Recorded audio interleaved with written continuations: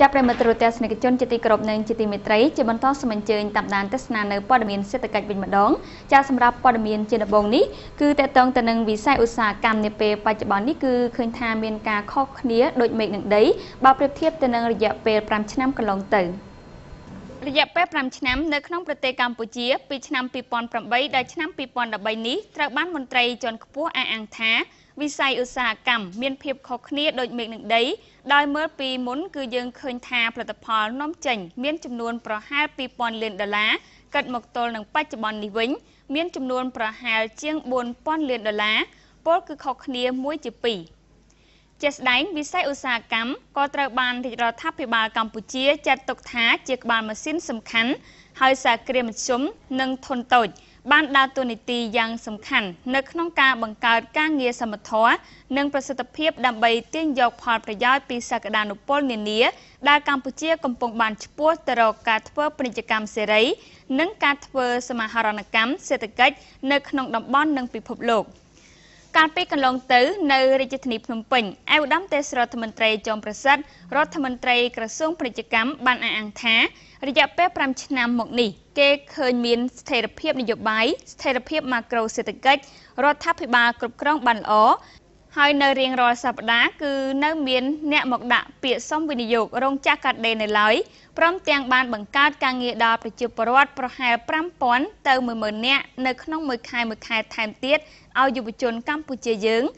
ហើយនេះក៏បានបង្ហាញដែរថាដោយសារតែកំណើនសេដ្ឋកិច្ចមានស្ថិរភាពប្រជាជនកម្ពុជាក៏នឹងមានជីវភាពកាន់តែរុងរឿងជាងមុនផងដែរ ខុសនោះខុសមេឃនឹងដីគាត់តែ5ឆ្នាំខុសមេឃនឹងដីរបៀបយើង5ឆ្នាំមុនយើងផលិតយើងនាំចេញបែបខ្ទង់2000លានដុល្លារឥឡូវយើងជាង4000លានដុល្លារបាត់ហើយគាត់មួយជា2បាត់ហើយ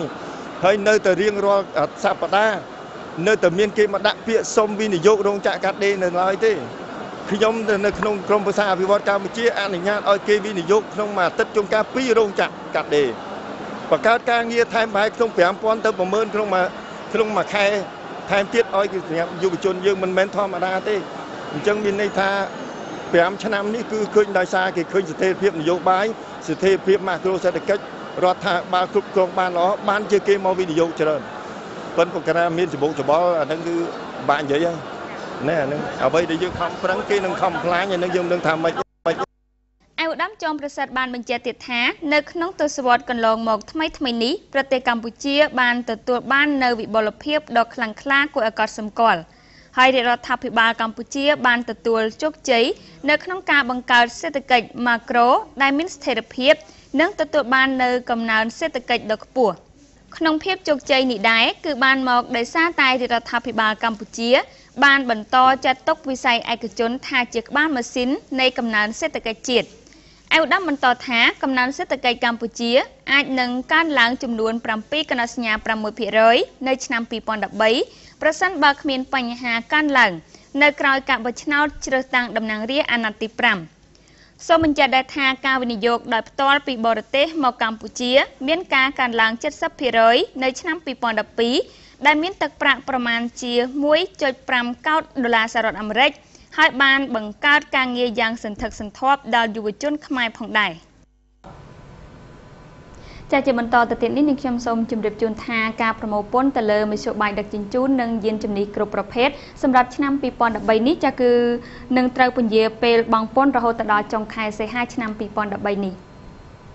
សេចក្តីប្រកាសព័ត៌មានរបស់អគ្គនាយកដ្ឋានពន្ធដារនៃក្រសួងសេដ្ឋកិច្ចនិងហិរញ្ញវត្ថុបានឲ្យដឹងថា ពន្ធលើមធ្យោបាយដឹកជញ្ជូននិងយានជំនិះគ្រប់ប្រភេទសម្រាប់ឆ្នាំ2013នេះបានដាក់ឲ្យអនុវត្តចាប់ពីថ្ងៃទី15ខែកុម្ភៈរហូតដល់ថ្ងៃទី15ខែកក្កដា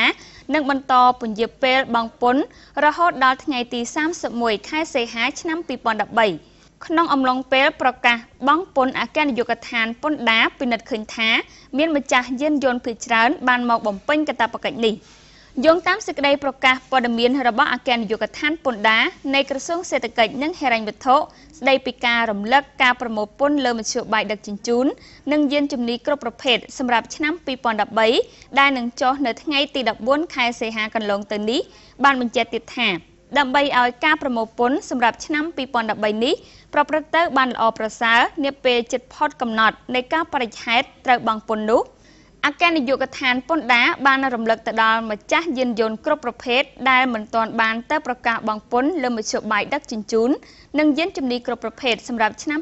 2013មេត្តារុរនអញ្ជើញទៅបង់ពន្ធទៅតាមទីតាំងរបស់រដ្ឋបាលពន្ធដារចំពោះរថយន្តគ្រប់ប្រភេទនិងនៅតាមបញ្ចលធនាគារ Esilida PLC ចំពោះត្រីចក្រយានយន្តនិងតូចក្រយានយន្តគ្រប់ប្រភេទឲ្យបានមុនថ្ងៃទី31ខែសីហាខាងមុខ។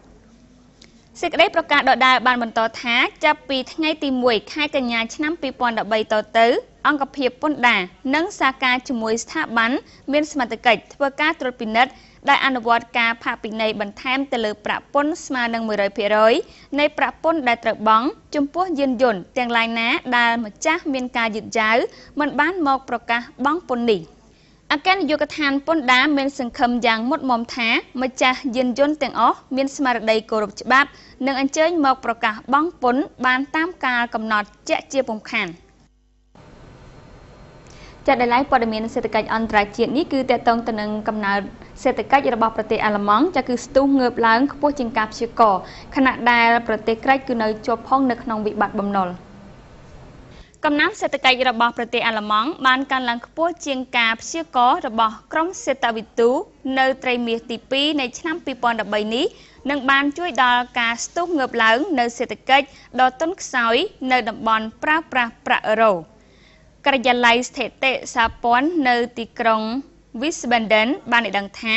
កំណើនផលិតផលស្រូបក្នុងស្រុកបានកើនឡើងចំនួន0.7%នៅត្រីមាសទី2នេះធៀបទៅនឹងត្រីមាសទី1ដែលកំណើនផលិតផលស្រូបក្នុងស្រុកស្ថិតនៅត្រឹង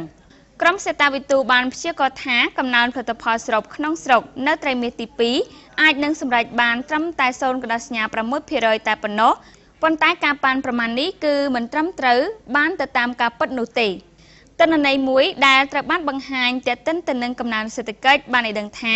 កំណើនសេដ្ឋកិច្ចរបស់ប្រទេសបារាំងបានកើនឡើងខ្ពស់ជាងការរំពឹងទុកពលគឺសម្រេចបាន0.5%នៅត្រីមាសទី2ចាប់ព័ត៌មានជាបន្តទៅទៀតនេះគឺកំណើននៃមនុស្សចាស់បាត់បង់កម្លាំងពលកម្មអាចជាបច្ច័យអាក្រក់ដល់កំណើនសេដ្ឋកិច្ចរបស់ប្រទេសជប៉ុន។ កំណើនសេដ្ឋកិច្ចជាតិរបស់ប្រទេសជប៉ុនបានកើនឡើងចំនួន2កណ្ដាសញ្ញា6%កាលពីខែមេសានិងឧសភាកន្លងទៅ ដែលមានបរិមាណទាបជាងការរំពឹងទុកចំនួន1%កំណើនសេដ្ឋកិច្ចនៅក្នុងកម្រិតទាបនេះជំរុញឲ្យមេដឹកនាំជប៉ុនដំឡើងពន្ធនាំចូលទំនិញពីប្រទេសចិនប៉ុន្តែមេដឹកនាំរបស់ប្រទេសនេះមិនបានដំឡើងពន្ធចំពោះការនាំចូលទំនិញពីកូរ៉េនិងលោកខាងលិចនោះទេ។ នយោបាយដំឡើងពន្ធរបស់រដ្ឋាភិបាលក៏នាំឲ្យមានការប្រឆាំងជំទាស់ពីក្រមមន្ត្រីសេដ្ឋកិច្ចផងដែរដោយសារតែការដំឡើងពន្ធមិនប្រកាសថាអាចជួយដំឡើងនៅកំណើនសេដ្ឋកិច្ចបាននោះទេយោងតាមទិន្នន័យមួយពីរដ្ឋាភិបាលជប៉ុនបានបង្ហាញថាប្រជាជនជប៉ុនអាយុ65ឆ្នាំនិងលើសពីនេះបានបាត់បង់កម្លាំងពលកម្មស្ទើរតែទាំងស្រុង មានចំនួន1ភាគ4នៃចំនួនប្រជាជនស្របទូទាំងប្រទេស ហើយកំណើននៃប្រជាជនវ័យចំណាស់អាចធ្វើឲ្យប៉ះពាល់ដល់កំណើនសេដ្ឋកិច្ចជាតិដោយសារតែរដ្ឋាភិបាលត្រូវចំណាយប្រាក់ទៅលើប្រជាជនវ័យចំណាស់ទាំងនេះចាប់ព័ត៌មានជាចុងក្រោយនេះគឺទីផ្សារភាគហ៊ុនរបស់ក្រុមហ៊ុនផលិតទូរស័ព្ទ Mac BlackBerry នៅសហរដ្ឋអាមេរិកគឺបានធ្លាក់ចុះលើសពីការរំពឹងទុក។ ទីផ្សារភាគហ៊ុនរបស់ក្រុមហ៊ុនផលិតទូរស័ព្ទប្រភេទ BlackBerry នៅសហរដ្ឋអាមេរិកបានធ្លាក់ចុះយ៉ាងខ្លាំងនៅក្នុងរយៈពេលប្រមាណសប្តាហ៍កន្លងមកនេះដោយលើសពីការរំពឹងទុករបស់ក្រុមអ្នកជំនាញ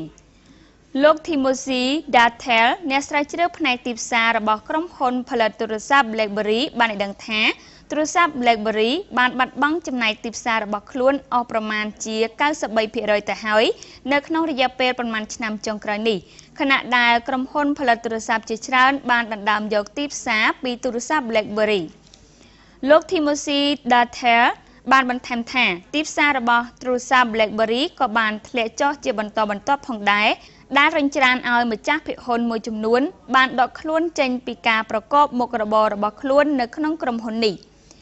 នាយកចាត់ការទូតរបស់ក្រុមហ៊ុនផលិតទូរស័ព្ទប្រភេទ BlackBerry នៅសហរដ្ឋអាមេរិកលោក Bram Watsa បានឲ្យដឹងថាក្រុមហ៊ុននេះនឹងប្រកួតប្រជែងជាមួយនឹងក្រុមហ៊ុនដទៃទៀតដើម្បីដណ្ដើមយកចំណែកទីផ្សារ BlackBerry មកវិញ